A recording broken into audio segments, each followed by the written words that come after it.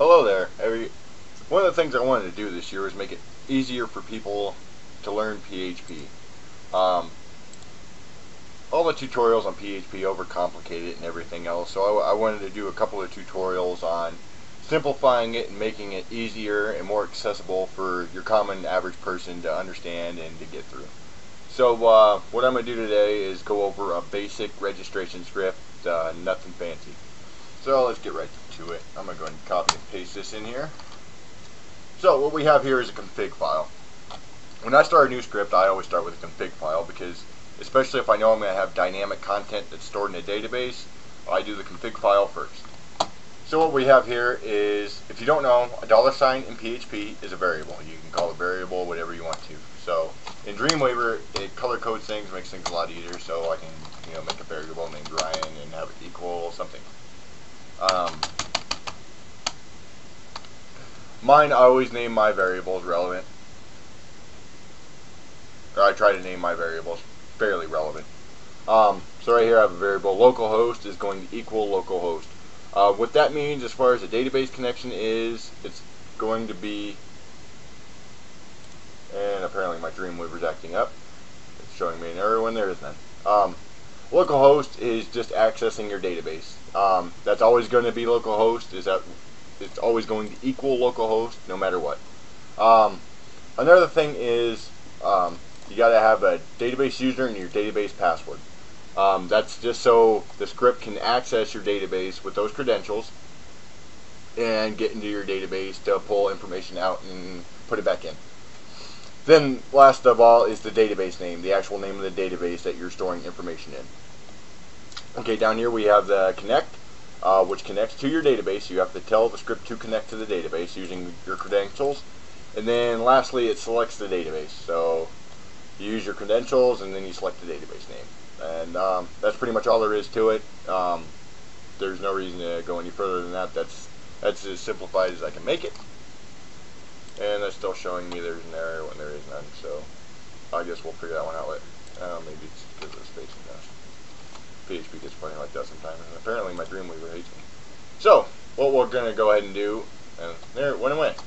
So what we're going to go ahead and do is create a simple registration script. So that's the config file. Uh, any questions about it, leave a comment on my blog or beneath below. Alright, so an index page. Um, this is just plain simple new file, a header, document type, and the footer. So let's get a little bit of real estate in here. Alright, the first thing I do when I create a form, because you have to create a form to register is I use a table. So we'll insert a new table. And let's drag this up here so you can see it. Um, that's why I like using Dreamweaver. It makes it very easy to insert things. Uh, we'll go six rows. Rows are going down, columns are going across. And 300 pixels should work just fine. So we'll go go OK, and then we'll insert it. Now remember, this is the index page. This is the first page that the browser will find when it goes to that directory. So what we're going to want to do is open the form and give it a method, which will be post, and give it an action. And I already created this file earlier. That's going to be reg process, and I will get to that later. And we'll go ahead and close the form down here below the table. Now, one of the things I always do, you don't have to, um, is I use a username. I don't always use it, but I like to have one. Just in case. It's better to have something in your database and not need it than not have it in your database and need it. So then we'll go input type will equal text. Confuse myself for a minute. And we'll give it a name of username. Now to save time, I'm going to copy and paste the rest of this in here because YouTube likes to cut them short. So what we'll do here, and I will explain these all. Oh. Alright, so what we have here, then I always ask for an email. Um, that's always good for a mailing list or anything else like that. So input type on that, we can actually, with HTML5 release, we can put an email field in there. Um, now, not all browsers support that yet, but they will by the end of the year, so I'm told. And we'll give that a name of email, uh, first name, last name, same story. Uh, password, you're going to want the input type to be password. That's what put those stars or black dots in there when you're entering your password. Uh, that's what keeps it hidden. Then last but not least, you always have to have a submit button. So input type on that will be submit. The name will be submit. And the value is actually what it's going to appear as, and I always capitalize that so it looks cleaner. Um, let me get this white space out of here. I don't like white space in my code unless I'm breaking lines. And we'll go ahead and save that, and we will see if our form is there. Uh, that's the database. So we'll go ahead and hit refresh. That was from earlier. And that went all the way across. Right. I must be missing something somewhere.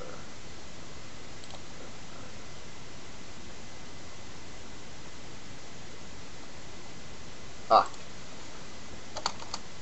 Silly me, I forgot to close my form on the top. So, unless you put a closing, what is that?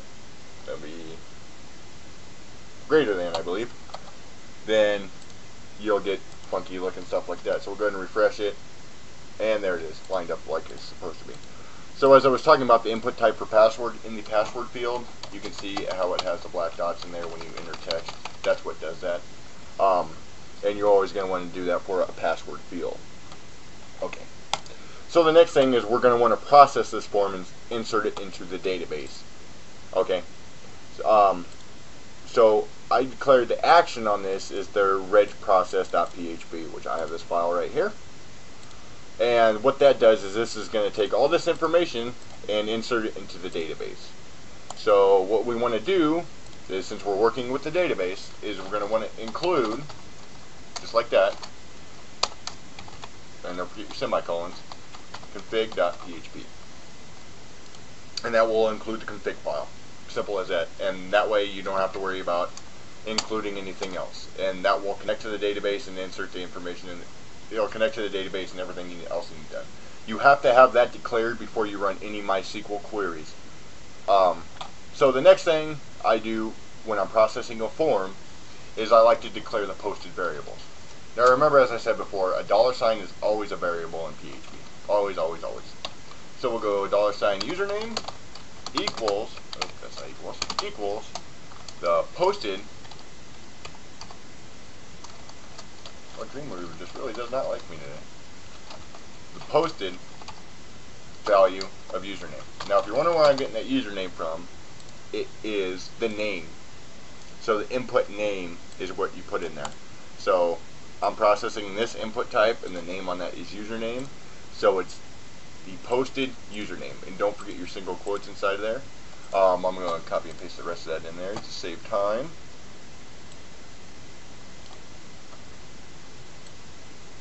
And I like to keep these in order. So, there we are. So I'm going to go ahead and copy and paste those in there, and that works exactly the same way for the rest of those, except for I like to have mine in order. So I'm going to go ahead and stick email under there. So as you can see, the name on that one is email, name is first name, name is last name. And that is everything for the form, except for the password. Now the passwords, I always encrypt my passwords for any of my sites you might ever go on or ever see. All my passwords are encrypted. Um, so what I use is a function in PHP called MD5, which MD5 encrypts passwords. Now they say it's unbreakable and it's irreversible.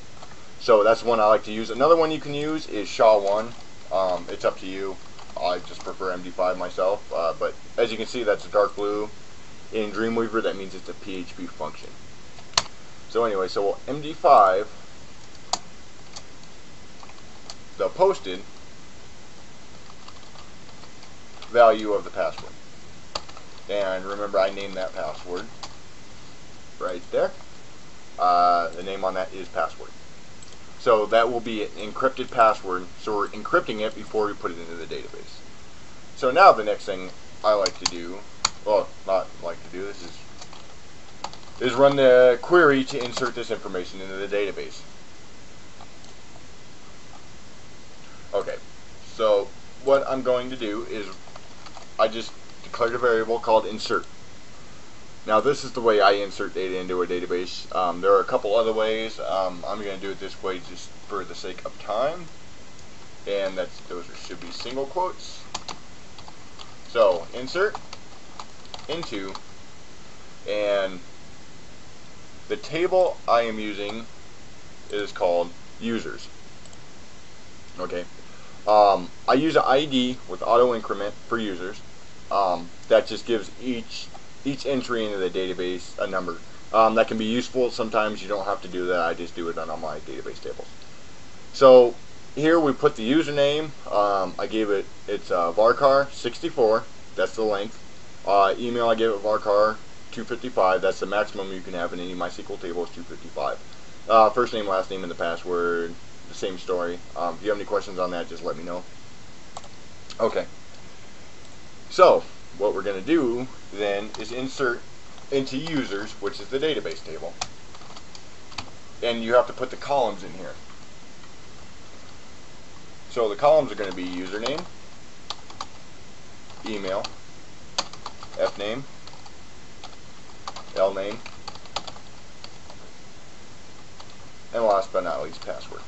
And make sure those are in parentheses. So then the next thing is we put in the values. And We'll use parentheses on those.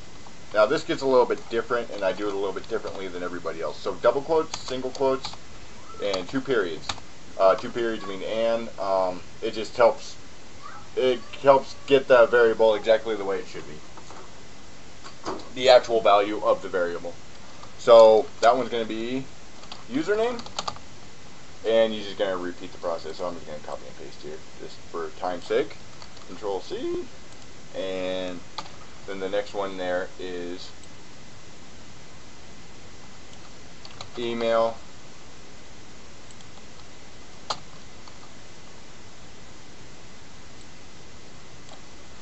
F name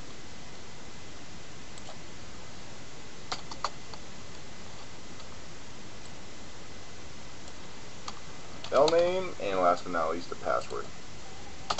Now what you have to do when you're running these queries is you have to make sure that the values line up with the columns. So the username column needs to have the username variable so they're exactly in the same exact place. So these are lined up, the email is lined up, so they're in exact same place as these.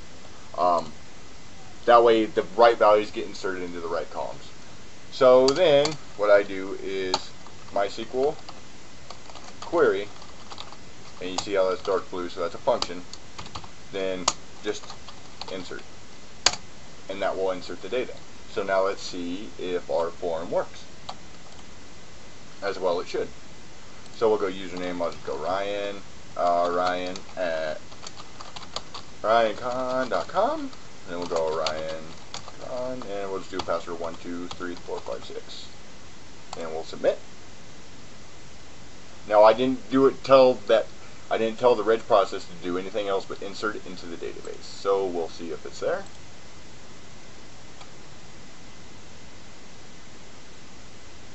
And if I can figure it, hurry up and look.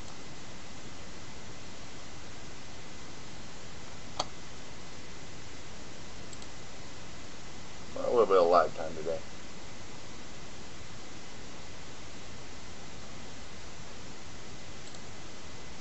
And there it is. So you can see the username I put in, my email, and there's the password that is encrypted, that I encrypted before I sent it in. Um, as you can see, the ID that I set to auto increment, I'll put a value of 1 because that's the first entry in this table. And there's my email, and everything else is in there with the encrypted password. Um, I will go on and show how to do a login form on my next video. Uh, thank you for watching. Um, if you like this video or it helped you out, um, show your support by uh, subscribing to my YouTube account or subscribing to my blog, uh, ryancon.com. Alright, thank you.